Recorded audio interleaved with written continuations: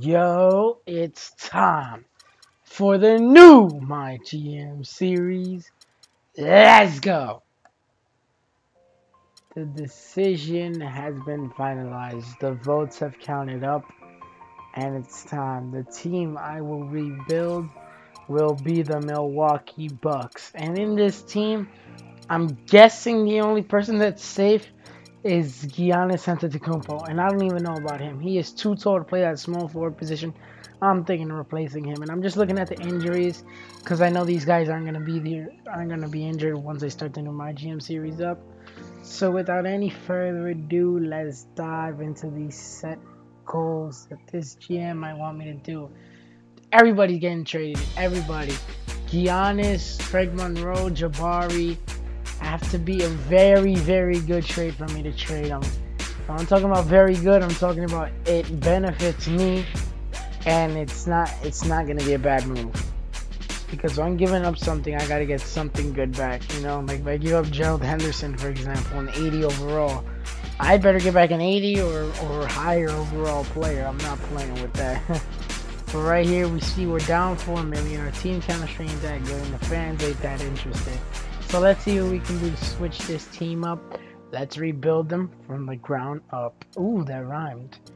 And no, we're not going to rebuild the draft if we go into another year. But I am going to download the next draft class. So this is our lineup for...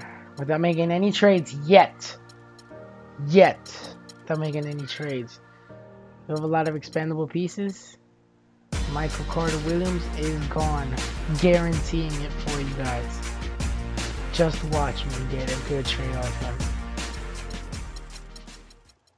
And the first trade for Michael Carter Williams, Miles Plumlee, and two draft picks, I get Jeremy Lamb and the boy Jalen.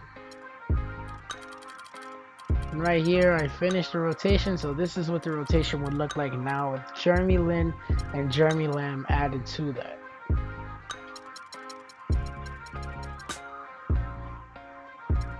Time for the second trade. OJ, Johnny Bryant for Marvin Williams. And I can't, I don't remember the other player's name. But those two on, and Tyler Hansbrough, because I need an upgrade at the backup power forward position. So let's see what we can do now that we're getting this nice key upgrade at power forward to help back up Jabari. Now, I know I said I was going to trade Jabari Parker for a good price. And what's better than Kristaps Porzingis and Lance Thomas? Come on now. All I'm giving up is Jabari and Steve Novak for two great additional pieces, especially in a Porzingis. Let's add him to the team. Giannis, Khris Middleton. I said everybody's gone for the right price. Giannis on an expiring contract. He could sign with anybody. And I honestly don't see him rocking that small forward nicely. But it was nice having him on the team. Jae Crowder and Avery Bradley, you guys are cooking up for the Celtics. Let's take you on to our team.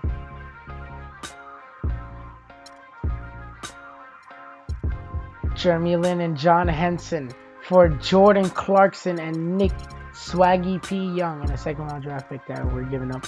But hey, this is this is looking kind of lethal because Jordan Clarkson is better than Jeremy Lin. Nick Young could be a nice backup small forward if I don't pick up anybody else. Nick Young and Tyler Hansbrough are gone for Brandon Rush and Maurice Speights for an upgrade at the center position. Now we have a stretch five. And Jared Davis for Patty Mills. Good trade. So this is our lineup for the Milwaukee Bucks 2015-16 season. Could we win a ring or is it just another bust?